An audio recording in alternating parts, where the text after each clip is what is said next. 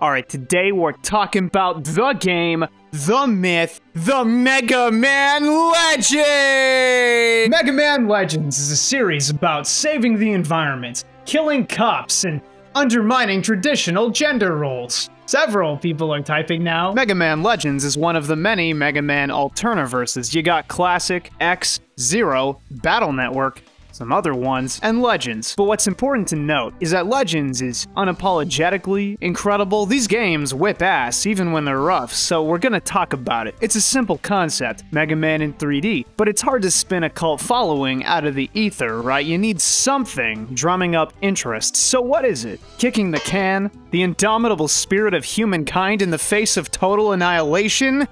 Kicking the can again. So Legends goes ahead and drops the premise. In a world covered by. Okay, World's Islands needs power, and that job's in the hands of the diggers, people who spelunk caves. Who can say what truly motivates the diggers? Probably food and shelter, I would say. I know this game kicks ass because I played it for the first time this year, and wow. PS1 classics, man. Game just works. Elden Ring, more like Smelden Ring. Catch me in my boomer cave, bro. I'm spelunking. It's perfection. This man's stuck on the wall janky AI pathing glitches. Perfection! Though I will say the birds on the island are mixed really loud. It's like banshees shrieking on the moors. Please stop! The game's cut into a few key spaces the world, the city, and the caves, more or less. You blow in from out of town, immerse yourself in the world, protect the city from bandits, blow up some wiggly robot penis worms, and meet all kinds of people. It's an endearing experience. So what are we waiting for? Let's get our skirt skirt on and go! The Schmeat on offer, the actual gameplay, is a bit of a stumbling block for some infants because you need to hold the L and R buttons to turn, but some of us have played Steambot Chronicles and TWEWY Final Remix with Joy-Cons, so hold that L please. And I think it ends up working in the game's favor, like most of what you do is run around caves blasting dudes. It's easy. Sometimes too easy if you engage with the RPG mechanics regularly and keep your gun updated. So having to micromanage Mega Man on that level keeps the experience mechanically engaging. It means you're not automatically the scariest thing at all times in a dungeon. And considering the era, it's a satisfying play. Upgrading your gun, trying out new sidearms, mastering combat's surprisingly enjoyable. Admittedly, some of the bosses put the strain on, like this guy and a couple others are a little too good at forcing the player to jump and dodge with strict timing. Seriously, what is this? What is happening? But you've got sub-tanks, you've got a mechanic, you've got a funny monkey bobbing to the beat of the background music. You're gonna pull through, you know? it's fine. And the other half of the gameplay, the human side, I guess, is solid too. Just having the option to explore a massive city for PS1 anyway, interact with its characters and complete side quests. PayPal vast sums of cash to the mayor to rebuild the city. Okay. Game's chunky, but only if you want it to be. There's even an early morality system tacked on, like you have agency, as the player, to do all the good in the world, or, in the Japanese version, kick cats and shoot birds. I like this a lot. Not kicking cats, not animal violence. Okay, rather the devs acknowledging that harming a cat is demonstrably evil, and yes, you should pay more at stores for being scum. Like I alluded to, this is one of the few no thoughts, head empty games I've played for the show, because really, Game's just good, simple and clean. So why did I even enjoy it? That's not a sell, you know, being strictly good isn't unique or interesting anymore. Lots of stuff's good, but Legends was great. And for once, it's all in the details. It's the dogs mauling you, the ridiculously loud bird chirps, it's kicking the can, it's straight up lying about your identity for no reason. Does this affect morality, lying about your name? It's getting an opening narration and quality cutscenes throughout the game, fighting bosses in genuinely dramatic scenarios on hardware being pushed to the limit. It's the facial expressions, saving Tron Bonne, this cynical bandit genius from a small dog and her falling in love with you made the game in two seconds at a primal level. Mega Man Legends! Learn to love again! Everything about Legends is charming. I'm charmed. It took 30 minutes and the dancing monkey, okay? But it's deeper than that. The entire framework of the game mirrors the player entering this new space. Mega Man is an outsider, but does material good for the citizens of Kattelox Island, befriends many characters, defends the city, and even helps rebuild it. He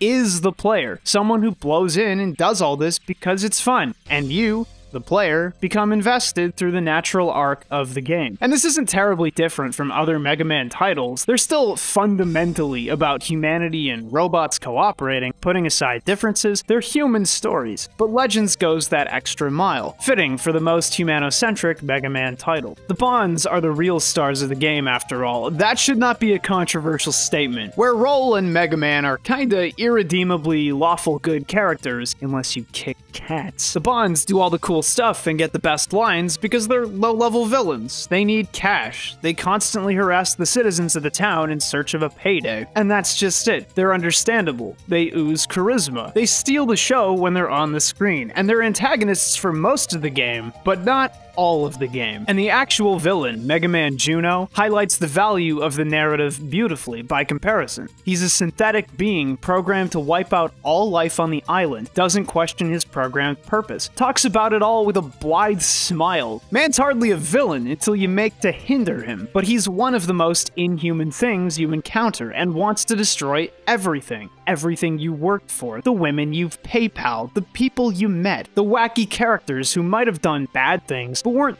that bad. Tron Bonne can do crimes. I forgive her. When you can succinctly humanize the lower level antagonists, create urgency by threatening everything the player's done meaningfully, you've got a quality villain. Destroying him is an affirmation of life, of humanity, of idiosyncrasy, of your bonds. Mega Man Legends isn't just quirky, cute, funny, whatever. It's hopeful. You actually don't need a ton of lore or a super nuanced villain to tell a compelling story.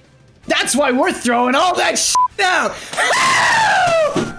Correctly identifying that the Bonnes carried most of the first game's cutscenes, Capcom released a spin-off of Legends, already a spin-off, spin-offception, before developing Legends 2. It's okay, I liked it better than Legends, even, for about 20 minutes, but it's got some things holding it back. Like, ignore gameplay a minute, just logistically speaking, this thing's clearly operating on a smaller budget, and if not, guys, what's going on? All the cutscenes are JPEGs and text boxes. Not unacceptable, TWEWY did that, but think of the pedigree! The gameplay is basically three styles of play fed into five distinct modes. The basic loop involves doing increasingly difficult levels of these different missions, which means it runs out of gas pretty quick, but holy sh!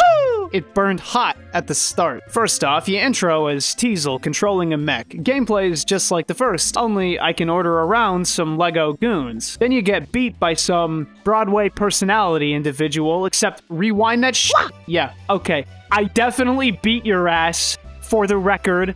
Okay, continue. Then you play the rest of the game as Tron, trying to win capitalism by beating absurd debt interest rates. Truly, Tron is the character of the generation. It's a lot more management heavy than you might expect from a Mega Man game, but it's cleverly dunked in a layer of chocolatey characterization. Lord forgive my writing. Everyone loves the Servbots, okay?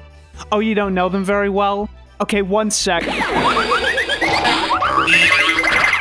Okay, you love Servbots now. Glad to be of service. Managing a team of useless idiots is pretty fun when you get to interact with so many. Unfortunately, they don't switch dialogue up much, but that's fine. There's enough text already. Now, I thought this game was A-plus material because right out the gate, you can wander into town and start, you know, blasting the citizens, demolishing buildings, killing the police. Wow! I mean, wow, that's chaotic and violent and Jesus! Please tell me it's all like this? Oh.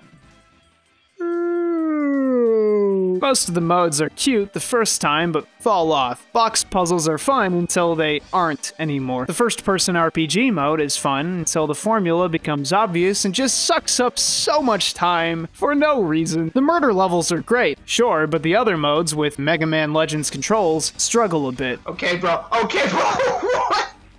Glad they kept that in the game. These levels where you steal livestock. I mean, Oh, no. At least some of the bosses are fairly enjoyable, and the ruins aren't so much a mission as a dungeon you have to finish to unlock the end game. They're hard to comment on, it's just a dungeon you could run straight through, but you need to acquire certain weapons and upgrades for the mech to complete it. Most of the game is getting, Getting money, money, getting power-ups, and getting bored with 90% of the game. But uh, hey, Am I stupid? The final goal of the dungeon is to beat up the end boss, this hippo thing. Hippo Bash, apparently. And it's so much harder than the rest of the game. We're talking get blindsided by 30 homing mines, die and restart the dungeon hard. We're talking harder than the final boss hard. We're talking waste 30 minutes of time save stating hard. I I need you to understand this. So DJ, please spin it.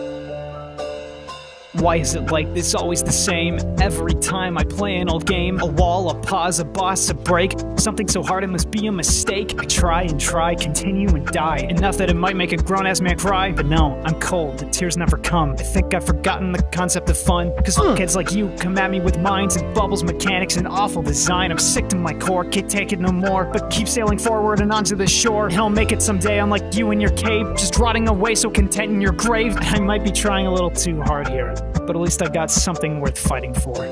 So suck farts, Hippo Bash.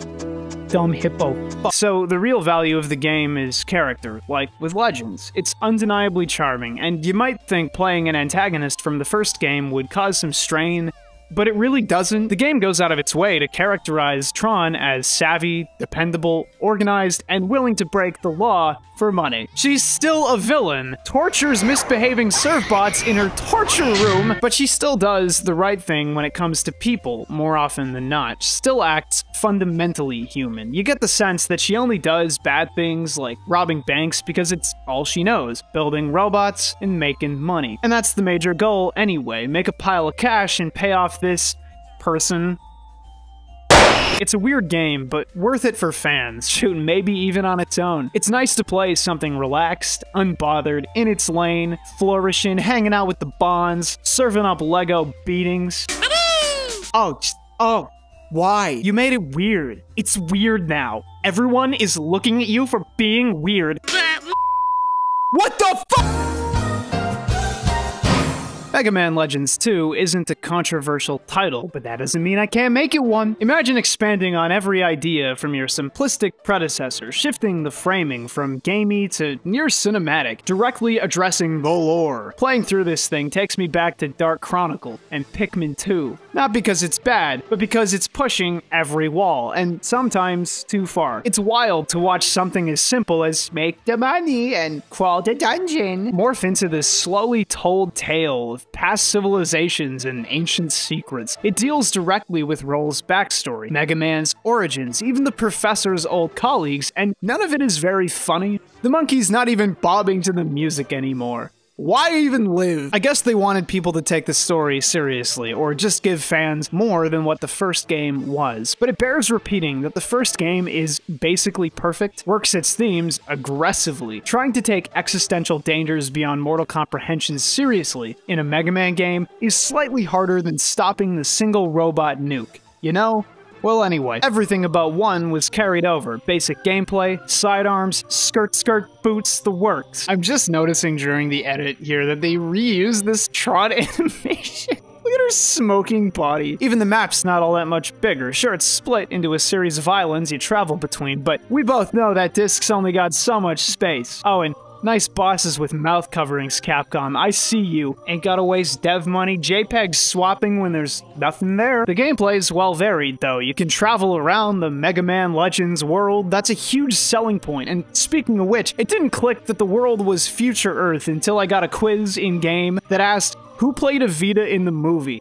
Why is this the one I know? What stands out in gameplay is dungeon structure. You're not waltzing through a series of tunnels and rooms in a linear path to a boss fight. They're structured more like Zelda dungeons, with multiple doors in a hub room that are unlocked over time, explored in order, and sometimes retread. It lends a lot of retail weight to the dungeon segments, like, I'm not just running around caves, I'm delving this important cave that the devs made with me a gamer in mind. I'd argue that the original, using dungeon space that wasn't super distinct, was less colorful, but also conveyed a sense of genuine exploration. Like this place just exists, you know, and you don't know what's inside. But in the tropical island, I do the overgrown dungeon. In Ice Place, I do Ice Dungeon. In Sand Place, I do Fire Dungeon. And that's nice, that's gamey, but it's not the same. That's the key takeaway here. The shift in design from 1 to 2 is about injecting ethos and importance, fitting into the narrative of what an important game is supposed to be. If any cave people types are furrowing their brow right now, to be clear, I don't think that's a bad thing. It's just a different thing. But the tone, the heart, feels slightly muted. Tron and Teisel hardly belong in the game. They're not allowed to butt in, constantly taking a backseat to matters of grave importance.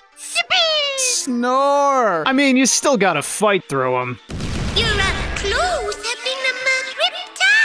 Look at this guy. He's popping a bone. That's the first canon mega bone! And I think something's lost in that. I mean, hey, there's plenty of idiosyncrasy, right? Plenty of weird to go around. Ew, why do they look like that? And you still ingratiate yourself to the citizens of the various islands. There's still room to explore and have fun and belong. It'll take you from an overgrown dungeon to a fortress raid to a massive Ava unit. I hope I'm not coming across like I'm bashing this game because it's badass. Bro, it's just that sometimes you're forced to do a time trial upgradeless dungeon course to advance the story, and whoops, I got stuck and my browser opened, and I watched a YouTube video and had to learn Buster canceling to advance the game. Just me.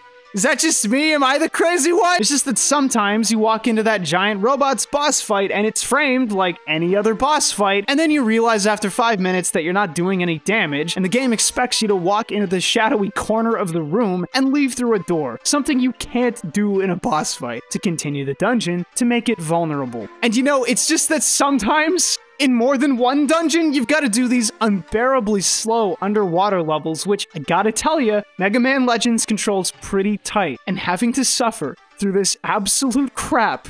I mean, like, none of this is evil or wrong, it's just clumsy. Like, 2's got all kinds of interesting stumbling blocks, either because something was conveyed poorly, or the balance was too tight, or. Eh. And please, find me a good water level. It's a weird game. Weird coming off one, anyway. Oh, and you've got a pile of money to make before heading into the end game, so get on that grind. Yeah! Optimal Mega Man Legends 2 grinding! That's what I like to see! Now, the plot takes center stage. It's way more pushed than the original, so let's talk a sec. You start the game on a ship called the Sulphur Bottom. The ship is named Fart Ass. I can't do it. I can't! I'll save myself the trouble. The story's about the same thing as the last game, but on a massive scale. Strange beings trying to kill off the current version of humans living on the planet. It successfully establishes a time abyss, or, when in a work of fiction, a great span of time in the past is made known to the reader, and they're made to grapple with the implications of the past on the present. And this is probably one of the issues with making a Mega Man Legends 3. Mega Man's background is spelled out. Roll's background is made apparent. Much of the history that informs the new world is dredged up, and it's hard to top an existential threat to the world itself as a conclusion. Not that it's impossible, there's no reason the stakes can't be lower for the world in a third game and the conflict be more personal. But now I'm grasping at a future that never was. You've probably heard the story of Mega Man Legends before, because it's a cult status spin-off. People adore these games, and they should. They're some of the most interesting Mega Man games, some of the most human, and one in particular is extremely effective at telling a story without doing anything particularly outlandish or shocking. They're weird. They're funny. You can equip your right arm with a beam sword and kill! It's a shame we never got a third, or rather, that the third game was cancelled and left mostly finished. And a whole history of hysteria follows that makes sense. Looking back, it seems insane to just leave it on the table. It's free money, bro. What the hell? But that's a part of Mega Man history I don't own and was never a part of, but it's why I think it's important to look back at old games, my favorite thing to cover. Hearing all this, you might assume that the games were knockout hits on release, but no, they scored around the mid 70s consistently. They were never looked at as groundbreakers. Shoot, the PC and N64 versions of Legends were lambasted for not adding more content, as though that detracts from what's on offer, as though everyone owns both consoles. And I'm not kidding, it's a way more enjoyable play than your average Assassin's Creed fight me. But that's what people care about with contemporary releases dollar value, comparisons to like software in the same era, hard to master controls, other noise that couldn't possibly matter in any other context than the release window. I'd much rather explore a colorful 3D environment than play an arcadey 2D Mega Man title. Like, even if the games are short, they pack a lot of side content to fish up. They're strong titles, and they're so aggressively charming, but they never really had the sales or the support from anyone but the fans. But then, when was quality ever recognized en masse? So this is a message to all the Capcom employees who I know watch my show. Look at my hair. Follow the curves. Listen to what the curves are telling you. Mega Man Legends 3! When the fuck? Hey, it's K-Bash. Huge thanks goes out to my $4 patrons whose names are on the screen. The show's finally getting somewhere thanks to the community's generosity.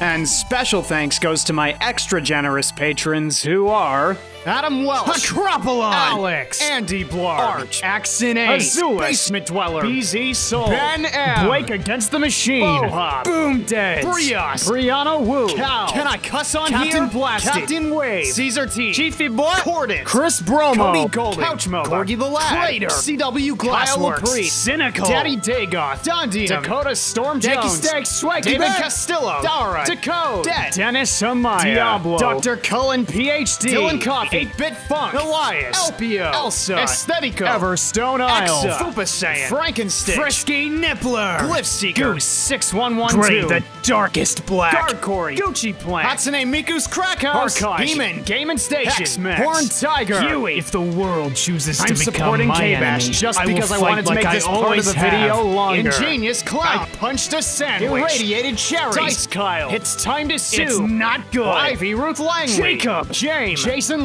Lasky, Jaden, Jay Deus, Joke Fraud, Jordan Joyner, Julian My Julian, Keegan Too Cool, Kata Snack, King Kuma, Clock, Crating, Crazy Dark Chocolate, Heist, Kyle, KZ Excellent, Lady Dentalian, Latrix, Laundry Mom, Lego Sid, Loathsome Dung Eater, Juan, Low Fat Moger, Lucas Boyd, Lucky McSmucky, Magical Madman, Mama Rollin, Mara Ganger, Marcules, Marsmugio, Maximilian Wolfgang Niver, Mike DeVere, Milky Moo Official, Monochrome Only, Mr. Dodongo, Mr. Whiskey 282, Nyrenew, Nito Torpedo, Norian, Daridius, Old Old Man Cranberry, Only LK, The Plant, Pandemic Cowboy, Pinata, PK Gaming, Popular Hitman, Potato Gaming HD, Quasar McDougal, Quillworth, Quinn, Reasonable Willow, Reggie Rodriguez, Rube, Ryan Maury Brooks, Sagitrash, Siren Smells Good, Salty Smasher, Scribe Slendy, Sakai no Award, Shod, Silver Bear 909, Sim, God, Sleepy Wabbit, Suckdolager, Space Lizard, Spooky Grimalkin, Squidged, Squishword, Starbound, Storm Strider, Sublime Cataclysm, Super Sandwich Guy, George Chubbington, The Big Bubby, The Salt Knight, Big Dick Mystic, Thrips Heartthrob, Timid the Writer, Travis Edwards, Twiddle Chungus, Vid, Valenrist, Venom, Vice Pup, Viewers Like You, Vic, Waposa, Weed Trash, Well shit, Waylon, Where am I? Home? Winter Solstice, Win TV, Zanny Tanner, Yashichi, Yeet Kundo, Zachary Livesey, Zachary V, Zanasso, Zane the Impure, Zane the Pure, Zeradax, Zed Slayer Gamer, Zero Zalazar, Sylvan Ray, Cyberpunk.